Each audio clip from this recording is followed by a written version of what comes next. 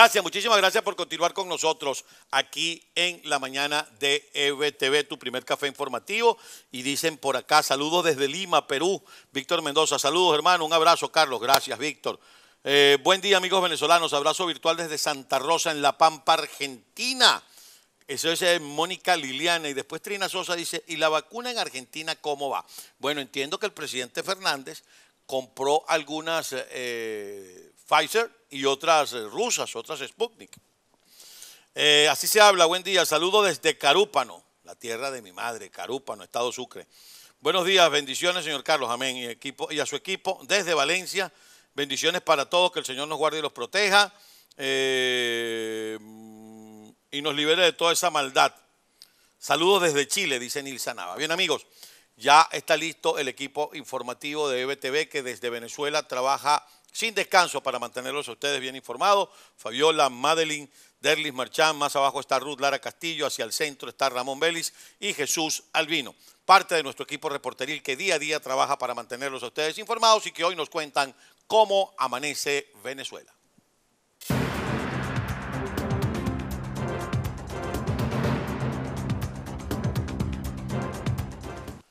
Bien, como hay gente en Argentina viéndonos, aquí está Carlos Miguel desde Argentina, mucha gente viéndonos en Argentina, pero también hay uno en Cabima, para que sepáis, en Cabima.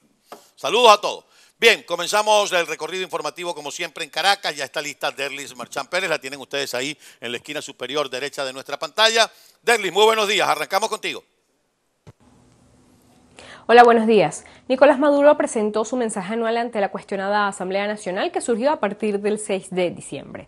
Entre otras informaciones, se refirió al plan que tiene para digitalizar la economía y combinar de manera oficial el uso de dólares con bolívares. Adelantó que los comerciantes podrían comprar y vender mercancía en bolívares y luego cambiarla en dólares en las cuentas bancarias que ya se están abriendo para tal fin. Además, anunció la aplicación del sistema electrónico para el pago del transporte público en virtud de la escasez de efectivo en bolívares. Informó sobre un plan que está estudiando para el regreso a clases de manera presencial y de forma parcial a partir de febrero, aunque todavía no ha comenzado el plan de inmunización y sobre el coronavirus anunció que esperan la llegada de 10 millones de vacunas rusas para iniciar su aplicación a partir del primer trimestre del año. En lo político refirió que el Consejo Nacional Electoral convocará este año elecciones de gobernadores y consejos legislativos y que si la oposición está interesada en promover un referendo revocatorio podrá hacerlo a partir del año 2022. Continúen ustedes como hacen el estudio.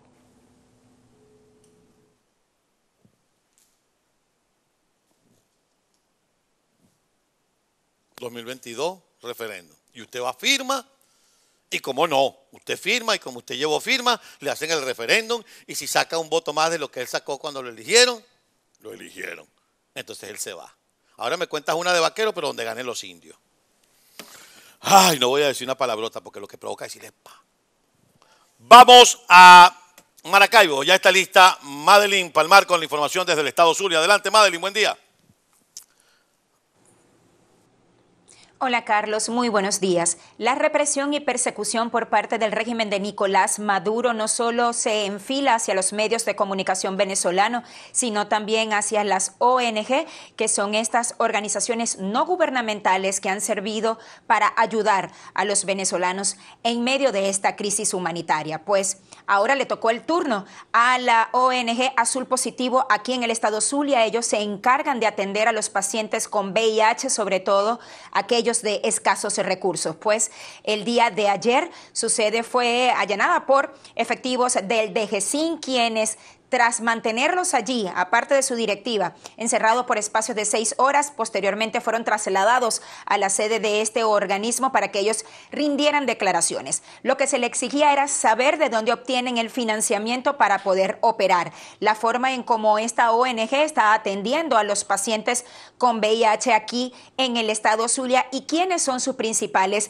sponsors. Esta fue la información que nos dieron a conocer los abogados, quienes aseguran que esta sería la primera detención arbitral que se efectúa en el estado Zulia y encendió las alertas de todas las organizaciones encargadas de las defensas de derechos humanos, puesto que aseguran que se busca criminalizar las actividades que efectúan estas ONG y que en definitiva han servido de tabla de salvación para muchos quienes no consiguen por parte del régimen venezolano lo que es la atención, sobre todo aquellos pacientes de enfermedades crónicas. Estaríamos muy pendientes entonces qué pasaría el día de hoy con ellos tras mantenerlos allí en la sede de la DGCIN, rindiendo estas declaraciones. Los abogados aseguran que hasta los momentos no se puede hablar ni siquiera de un procedimiento administrativo, puesto que buscan obtener información sobre lo que sería el funcionamiento de estas ONG y por supuesto entonces estarían intimidando a las personas que trabajan en un país que ya se hace cuesta arriba en medio de esta crisis económica y social que padece Venezuela.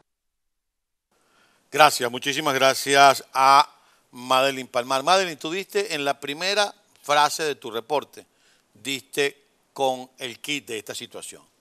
¿De dónde obtienen el financiamiento? Eso es todo. Por eso atacaron a BPI, por eso atacaron a Efecto Cocuyo, a Tal Cual Digital, al Pitazo porque existen organizaciones no gubernamentales que apoyan la libertad de expresión y colaboran con recursos. Ah, pero ¿le vas a mandar recursos a una organización para que me critique? No.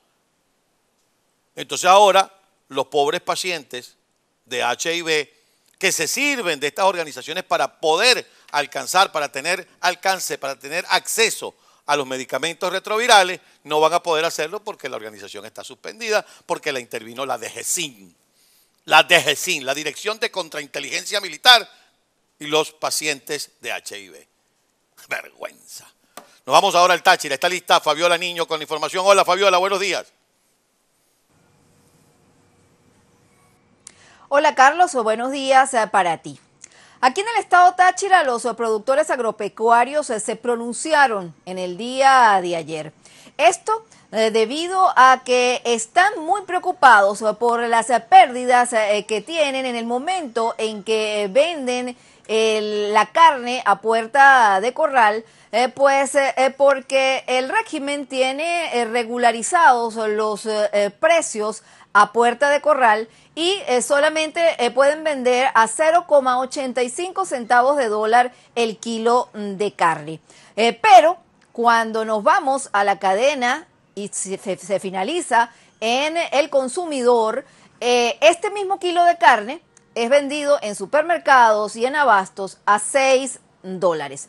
Los eh, ganaderos dicen que eh, no van a poder soportar esta situación que se refleja igualmente en la leche, porque a puerta de corral también eh, se está vendiendo muy económica. Aseguran eh, que eh, dentro de dos días van a tener reuniones eh, con los industriales que procesan la leche para determinar si se puede aumentar el precio. Pero como sabemos, los precios de estos productos son regulados por el régimen. también tienen el problema del combustible. Comienza el verano, deben de tener maquinarias para poder eh, trabajar la tierra y al no tener combustible, eh, pues podrían paralizarse la producción. Esta es la información que tenemos a esta hora, Carlos. Con ella regresamos contigo a los estudios en Miami. Gracias, eh, Fabiola Niño. Vamos a hacer una breve pausa. Al regreso seguimos con nuestro recorrido por Venezuela. Todavía tenemos que pasearnos por Anzuategui, por Carabobo y por Lara para tener información de lo que ocurre en Venezuela. Por cierto, mañana es el Día de la Divina Pastora y va a haber mucho movimiento, pero como se ha venido haciendo en todas las manifestaciones religiosas multitudinarias que estábamos acostumbrados a ver en Venezuela, ahora se hacen de forma virtual. Pausa y regresamos.